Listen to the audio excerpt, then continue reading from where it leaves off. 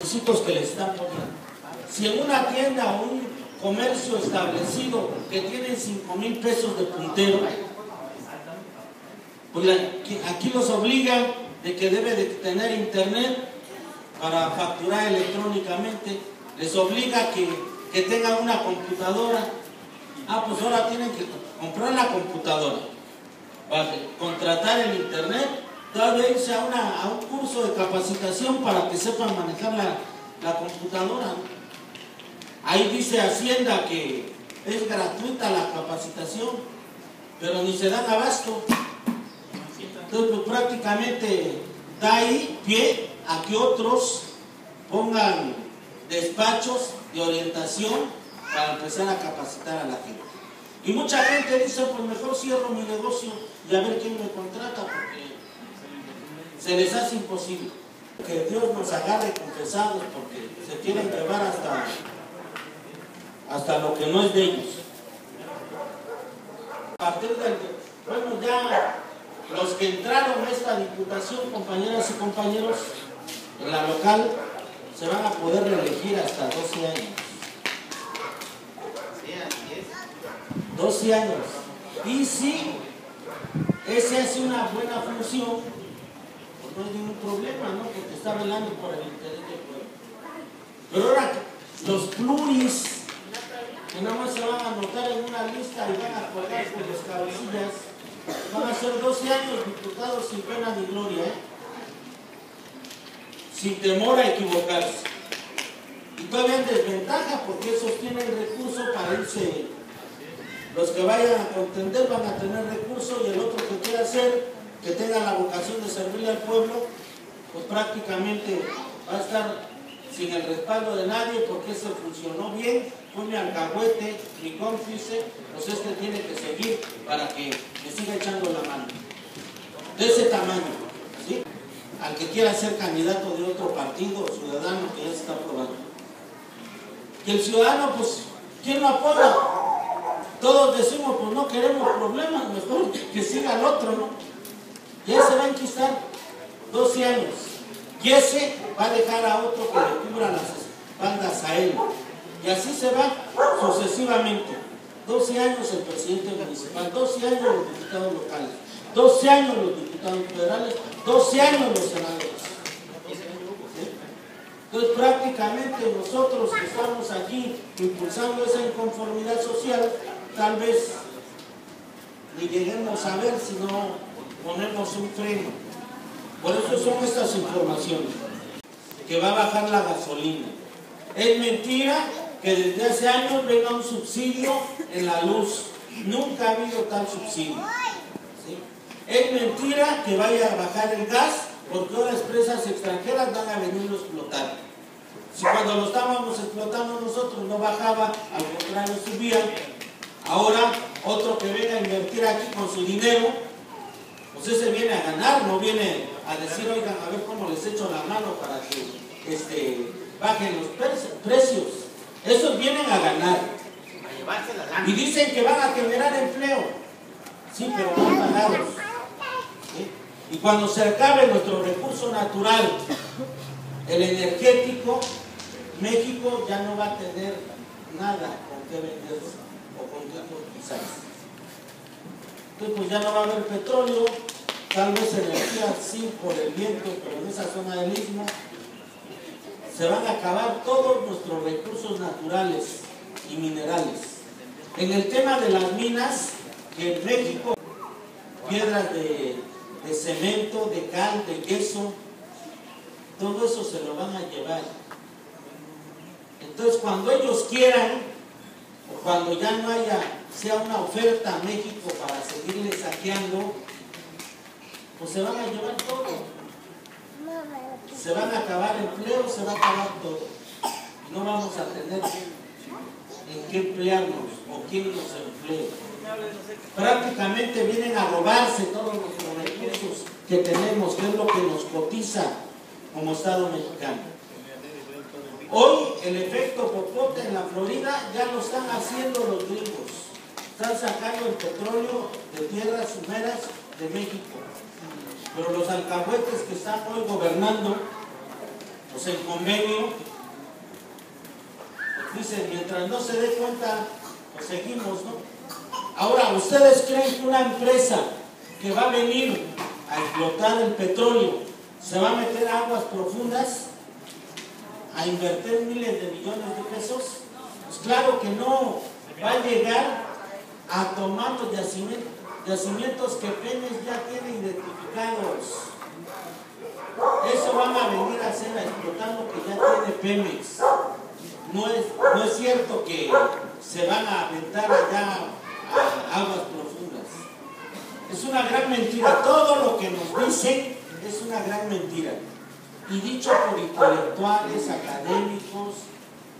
expertos de Pemex que han ido a darnos conferencias ahí en la Cámara de Diputados o en los hoteles donde abrimos un espacio para que ellos nos expliquen. Es mentira, no nos va a ir bien a nadie. Y Pemex al último lo van a vender, lo van a privatizar. Comisión Federal de Electricidad también lo van a vender y lo van a privatizar. O lo van a hacer una empresa como este de una empresa estadounidense petrolera. Fue la condición. Entre ellos mismos ya se acomodaron para concesionarse parte de, de las empresas petroleras. Son socios ya entre ellos. De ese tamaño la gravedad, compañeras y compañeros. Yo por último les digo que hoy, yo ya les dije que el 5 de abril hay una movilización para seguir difundiendo esto. Lo del 5 de mayo también es una movilización nacional para seguir difundiendo esto. Para contestarle al compañero, yo sí en Oaxaca recabé más o menos como 150 mil firmas. Para completar el 1.700.000 y tantas se, que nos da el 2% para que se fuera la consulta popular. Y los del PRI, los del PAN, los del Verde y los de Nueva Alianza no aceptaron la consulta popular.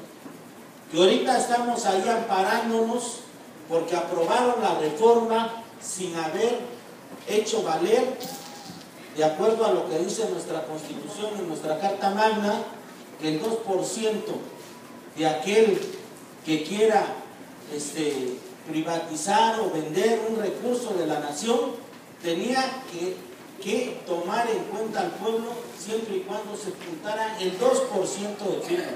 Lo cumplimos, compañeros. Logramos el 2% de firmas y nosotros confiamos en que no iban a hacer ese atraco a la nación. ¿Y qué día lo hicieron?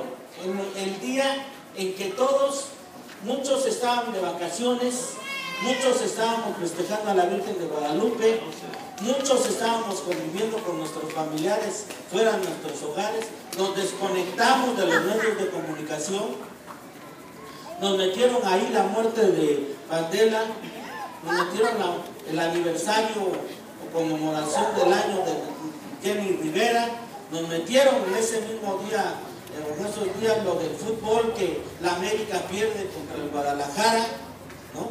O sea, un bombardeo de, de ahí los medios de comunicación y no tocaron nada de la reforma, este, de la reforma de Pemex y la energética. ¿sí? ¿Saben qué día lo hicieron? El 12 de la Guadalupe. El 12 de la Guadalupe, que todos estábamos en nuestro mundo pensando que ellos también iban a dormir. Y si hubo una gran impotencia, su servidor, quiero decirles que lo único que hicimos ante ya tanta impunidad, dijimos pues que, que no, si lo van a votar y lo van a aprobar, pues que no lo aprueben en el recinto oficial. Que busquen a ver por dónde se van si lo quieren aprobar, pero en el recinto oficial no lo van a aprobar. Una noche antes que voy y que compro unos chicotes de esos con clave, con combinación, y al otro día, mero, cuando ya estaba la Junta de Coordinación Política ahí fraguando para bajarse al pleno y, este, y aprobar, que me organizo con los del PT, con los del PRD y con los del Movimiento Ciudadano y cerramos todo el recinto oficial para que no se aprobara ahí la reforma energética. Es lo único que pudimos hacer. Buscaron una sede alterna, los del PRI, los del PAN, los del Verde Ecologista y Nueva Alianza, que son más de 360 y tantos, pues aprobaron la reforma. Muchos dicen, ¿y por qué no se dio el debate?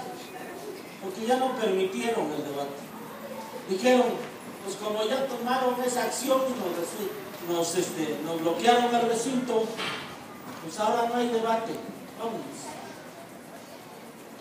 Y de ese tamaño es la impotencia. Hoy así hay mucha responsabilidad de nuestra parte por muchos compañeros que no han difundido, no han informado. Yo sí comprendo aquí al compañero porque hay desesperación. Entonces, ¿para qué carajo votamos? Presidente de la República que le construyó su teatro a cada una de las ciudades. Porfirio Díaz fue el único que tuvo el campo en su máximo nivel. No teníamos hambre en ese tiempo. Se dio lujo de rechazar a los gringos y hacer convenios con los franceses. Entonces, reactivó la economía Porfirio Díaz en su tiempo, que también tiene, tiene sus, sus contras, ¿no? De que no permitía que nadie se revelaba o ninguna traición, porque inmediatamente lo crucificaba.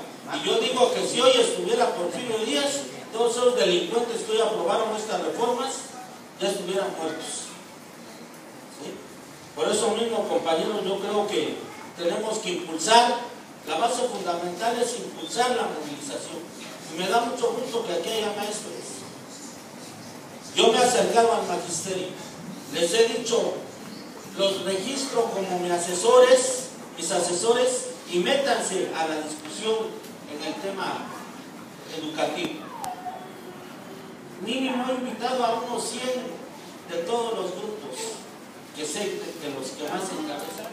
¿Saben cuántos han querido o me han llevado sus papeles para que yo los registre como asesores? Y mismos maestros estén ahí en la mesa de los debates o discutiendo en la comisión, ninguno. Entonces a mí sí me da tristeza, yo me pongo a disposición para ser interlocutor, intermediario, ya haya compañeros ahí en la mesa de discusión, de entrada para la reforma educativa. Y no sé, o sea, yo digo, si hay interés, pero no hay interés yo, yo me pongo ahí a disposición, si, hay alguna duda también